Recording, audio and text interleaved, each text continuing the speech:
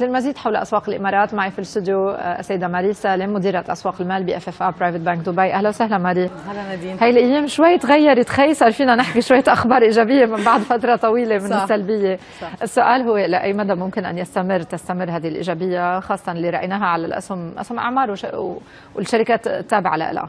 آه نادين نحن كنا بالأول متفاجئين بأول السنة بس شفنا هيدا الحركة الإيجابية اللي عم بتصير بالأسواق وكنا دائما عم نسأل حالنا إنه لأي متى بس هلأ بس وصلنا لهيدي المرحلة وصار في عندك announcements ال dividends يلي بدها توزعها الشركات ككل مش بس كإعمار عم بحكي أو الشركات العقارية. بنصير بنطلع إنه لأ في عندنا sort of stability موجود صار بالسوق وفي آه منحى ايجابي عم بيتبعوا المستثمرين. يعني بنجي نطلع حتى على حركة التداول يلي عم بتصير بالأسواق. منا مثل ما كانت سنة الماضي بال 2018 بطيئة وخفيفة وهيك بس بس لمجرد إنه يكون في نوع من التداول. وهلأ نحن مع اقتراب كمان موسم النتائج تبع الربع الأول مع نفس الحركة اللي عم نشوفها بنتأمل إنه هذا الشيء ضل مكمل شوي لقدام زيادة ومع المحفزات كمان اللي عم تقدمها الدولة صارت. ماري السؤال اليوم إذا بدأنا نرى أخبار إنه في بعض المؤسسات عم بتشيل من السعودية وبتحط بدبي. يعني فجأة بلشوا يشوفوا إنه دبي undervalued big time مقارنة مع الأسهم السعودية. أنا سؤالي هيدا الزخم إلى أي مدى حقيقي؟ يعني المشكلة إنه شفناه بال 2018 شفنا فورة ارتفاعات لم تستمر. والسبب كان إنه ضعف السوق العقارية بدبي. يعني ما نضحك على بعضنا لا يزال السوق وضعه سلبي. هلا السؤال إنه عم بيقولوا صرنا على ال end of the cycle النزول. بس ما كمان يعني مش واضحة الأمور. فانتم شو شو وجهة نظركم بنقول صرنا على end ال cycle لأنه ما بدنا بعد اسوء من يلي قطعنا فيه. بس حتى هلا إذا بنجي نطلع يعني شوي كنت عم بقرأ تقرير إنه في عندك ارتفاع 118% بالمبيعات.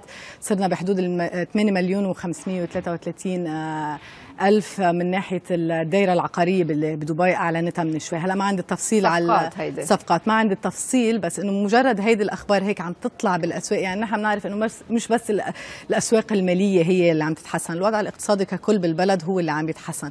فوقت اللي بيجوا بيقولوا لك إنه من السعودية عم بينقلوا الكاش تبعهم ممكن إنه نشوف هذا الشيء موجود خاصة إنه إعمار مؤخرا year to date في عندك net buyers من ناحية ال foreigners يعني في عندك مستثمرين أجانب إن كان عم بيتداولوا كانوا بالسعودية ولا بغير اسواق ولا حتى internationally عم بينقلوا استثماراتهم على الأسواق المحلية. فهذا الشيء ممكن يكون كثير إيجابي وبنتامل له شوي استمرارية لقدام في البعض يرى إنه موضوع توزيعات إعمار قد يشكل النقطة المحورية إنه إذا أتت التوزيعات سلبية ممكن نرجع نشوف قلة اهتمام بينما إذا أتت توزيعات إيجابية بيعطي بعض الزخم الإضافي. هل في أي توقعات بالنسبة لتوزيعات إعمار؟ هلا ليك التوزيعات تبع إعمار كانت دائما عم تكون شوي in line هلا مرات بتكون مخيبة ماشي حسب وضع السوق يلي بيكون موجود. بس دائما عم بتفاجئنا اعمار يعني بشهر لهلأ أو من أول السنة لهلأ إنه اعمار طالعه درهم. يعني منه منه شيء إنه بيشكل نوع من القلق عند المستثمرين. في مستثمرين معينين بفوتوا مثلا بيستثمروا بالسهم بس مجرد لمجرد إنه بدهم ياخذوا من وراها الأرباح أو ال dividends اللي بدها توزعها الشركات. وفي عندك مستثمرين بيستثمروا بال value تبع الشركة بحد ذاتها.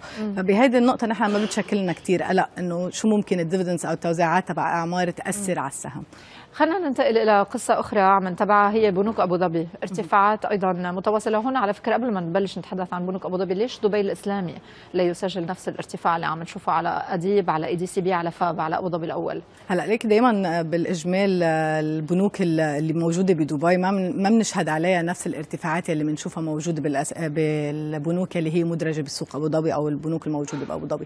دبي الإسلامي أصلا كحجم منه بحجم مثلا FAB أو ADIB أو ADCB يعني بدنا نجي ناخذ كمان على الصعيد ككل كالبنوك كلها ك sectors بس ك performance إذا بدنا ناخذها proportionally لا عم بي عم بيعمل performance منيح دبي الإسلامي. وحتى الحركة اللي موجودة عليها هلا نحن بنعتبرها إنه حركة تعد ذات قيمة مش بس مجرد إنه ماشيين مع مشية الحركة على البنوك. هلأ بالنسبة لبنوك أبو ظبي يعني نحن كثير نعرف كثير منيح إنه FAB هو أهم بنك موجود بأبو ظبي. وهلأ كمان في عندك ال ex-dividend تبعهم. يعني في عندك كثير من المستثمرين عندهم محفز إنه يفوتوا يشتغلوا على قبل الاستحقاق قبل الاستحقاقات تبعهم. وخاصة إنه عم نحكي على القطاع المصرفي ونحن بنعرف شو هو القطاع المصرفي بالإمارات مع تدخل ال central banks والحكومات دائما لحتى يكون في هذا الدعم وهذا ال support لهذا ال sector. إنه طبيعي إنه نحن حنحس إنه في أمان وفي ثبات بهذا ال sector. خلينا نتحدث شوي عن القصص اللي عم نتابعها بأبو ظبي. عندنا ال merger تبع أبو ظبي التجاري. هلا نعم. في البعض بيعمل argument إنه شوي غالي in terms of valuation صارت مصارف أبو ظبي.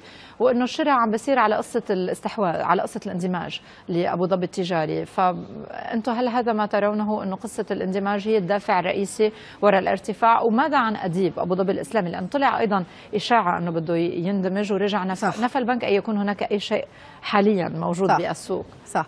هلا بالنسبة ل اي دي سي بي اي دي سي بي نحن نظرة الارتفاع أصلا بالبنوك ما كانت ولا مرة إنه تفاجئنا إنه ليش عم بتصير. بس هلا إذا بدنا نجي نطلع عليها من منطلق mergers في شيء ممكن إنه يكون إيه سبب إنه يكون في هذا الارتفاع بس بالنتيجة في عندك أنت اي دي سي بي في عندك يو إم بي بالمقابل بدك تلاقي الحركة على الاثنين مش. يعني في في آه نسبة معينة already اتفقوا عليها إنه يكون الاستحواذ حيصير على. أساسها ال swap على أساسها. فهلأ وقت نيجي نطلع إنه ADCB إذا بده يطلع بالمقابل كمان UNB بده يطلع. بس هيدي كلها بتصير آه حركة مستثمرين فرديين بس إذا عم مثل ما أنت ذكرتي إنه هو لمجرد إنه الاستحواذ. بس البنوك in general حتى إذا بنرجع لفترة ورا حتى يعني في عندك FAB هلأ بيعاكس شوي هيدي النظرية إنه لأنه في الاستحواذ. FAB ما عنده استحواذ ما عنده أي شيء. already وصلنا لمرحلة إنه عم نشتغل على ال performance تبع البنك. فكمان ADCB عامل مساهم هي قصة الاستحواذ بس ما العامل الأساسي. و ADIB أبو ظبي الإسلامي. أبو ظبي الإسلامي يعني بحكم إنه هو كمصرف إسلامي بال sector تبعه هو لحاله مستقل بهذا الموضوع. بس قصه ال mergers يعني دائما بنشوف البنوك بتجي بتنفي الخبرية وقت اللي بتكون بعدها طالعه بعد شهرين ثلاثة بنسمع إنه مزبوط في نوع من الاستحواذ. بلا نار بيكون 100% 100% بس كمان إنه عم نحكي على القطاع المصرفي ونحن عم نشوف هلأ في consolidation بالقطاع المصرفي. ف ADIB الحركه اللي عم بتصير عليه جدا طبيعية ولا يمكن منا مربوطة باستحواذات أو أي شيء بس إنه حركة كتير طبيعية اللي عم نشوفها. شكرا جزيلا لك السيدة ماري سالم مديره أسواق المال ب FFA Private Bank دبي أهلا وسهلا بك.